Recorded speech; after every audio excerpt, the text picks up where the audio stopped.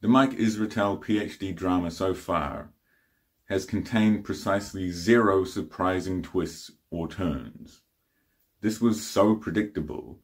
When I made a YouTube on Mike Israetel's PhD a year ago, just a YouTube short, I thought to myself, should I make a full long form video on this? And I thought, no, someone else will do it. It will come out eventually that this guy's a fraud. So I didn't bother. So now that happens, and then Mike, we all know Mike Israetel is going to have some PR move, and he's going to come out and lie. And in order to do that, because his PhD has no credibility, he leans on another PhD, Dr. Milo Wolf. Well, I already covered his study six months ago in a YouTube. Okay, like how much credibility does that guy have when his study is so absurd? Now understand, I don't pay attention to YouTube fitness content. I'm not following all these different dramas, so I don't know who a lot of these people are or if I do, it's just because I've read the scientific journals and read their stuff. So when I came across that study by Milo Wolf, I didn't know it was funded by Jeff Nippard until I got to the bottom and said, oh, funded by Jeff Nippard. That's interesting. So that's why I decided to cover it. So I'm reading the comment sections and stuff, and I'm seeing people say, the reason why I trusted Mike Israetel is because he studied under Michael Stone. I'm like, okay, that's interesting. Who's this Michael Stone guy? Turns out I wrote an article or an essay a while ago. I uploaded it to ResearchGate and I reread it recently and realized, oh, I've referenced this Stone. Yeah, spurious arguments. Stone. That was the reference. That article that had got published in the Journal of Strength and Conditioning had been up for like a year and got zero citations because nobody actually cares what this guy says in the scientific community. So I was the first guy to give them a citation. So some co-author gets excited and they're like, oh, someone cited us. Let's see what he has to say. Spurious arguments, Stone. And I didn't know who Stone was at this time, right? So thanks ResearchGate for having that function where it alerts you and tells you when someone read your work and tells you who it is because that gave me a good fucking laugh, I'll tell you.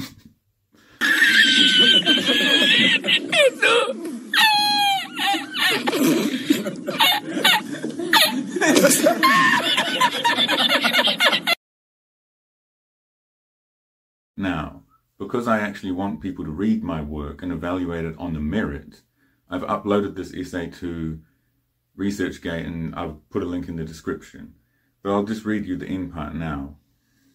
I implore the medical community outside of the sports science sphere to study resistance training and strength development without any reference to that which has come before, starting anew without being influenced by the unscientific theories that are foundational to exercise science. Steele et al. Now, what is Steele et al.? Steele et al. is yet another predictable drama that happened. James Steele, James Fisher, and some co-authors wrote a chapter in a book called The Myth of Periodization. They're pointing out the obvious. That should be just prima facie obvious to anyone who knows what science is, and that is periodization is not science.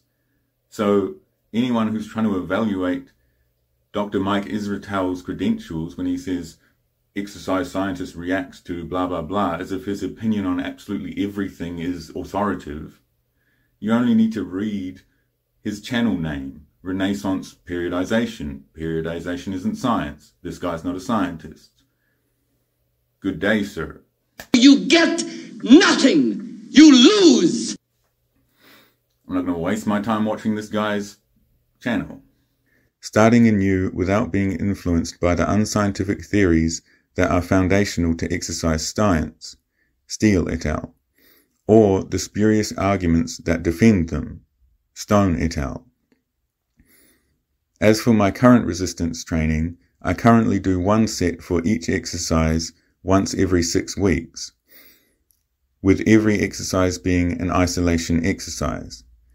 This is a regime that sports scientists will no doubt find ridiculous, hence will not have tested at all. Therefore, their uninformed opinion really doesn't matter to me. I choose to base my training plan on a hypothetical deduced by reason rather than empirical evidence. Some will say this is unscientific, but the scientific method begins with a hypothesis, a hypothetical, not currently existing empirical evidence. If my training differs from the quote unquote scientific consensus, it is because I am engaging with the scientific method. How am I going to respond to any of this drama? I'm not going to respond to it. I'm just going to go do some real science because this is an opportunity. See, what you have to understand is that someone like a Mike Israetel, they take all the oxygen out of the room. They prevent real scientists from having a voice. Well, now that that house of cards is crumbling down, now's the time to do some science. Now, I've already done EMG stuff, which I've uploaded. I'm planning to do a much better, more organized thing because I just turned up and just impromptu did that EMG stuff. So stay tuned.